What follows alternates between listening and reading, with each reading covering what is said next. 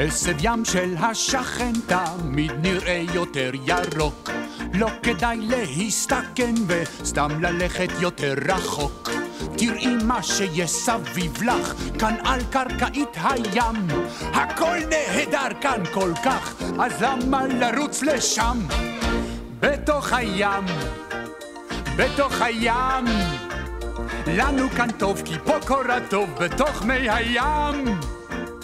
שם על החוף בני האדם, רק מתאמצים עובדים כולם. ואילו אנו, כיף לכולנו בתוך הים.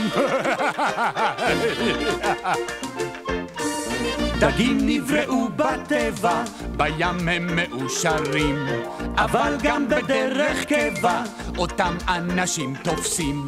כל עוד הם לנוי וצבע, עדיין ברי מזל, אותם גם אוכלים לשובע, וזה כבר מאוד חבל. או לא, בתוך הים, בתוך הים, שם לא אוכלים צולים, מטגנים בתוך שמן חם.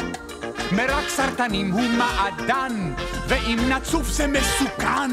אך במצולות יש רק מעלות כאן בתוך הים. בתוך הים, בתוך הים, בתוך הים, אלה חיינו, זה עולמנו, אין כמו הים. בתוך הים, ים, ים, עם גהריה והחידן, נשתעשע כל הזמן. יש לנו כוח, בואו לשמוח גדולה וגם מקהלה, חליל וגיטר, גם בס וסיטר, תרועות, נשיפה, תופים בתנופה, הנה גם החצוצרה. יש כלי נקישה ליד כלי מיתר, וגם דגית תתרוקד, הוא ושר סרדין, קרפיון, דיונון וסלמון, באים הם בהמון. אה! בתוך הים, בתוך הים, בתוך הים, בתוך הים, כל הדגים תמיד חוגגים, כי זה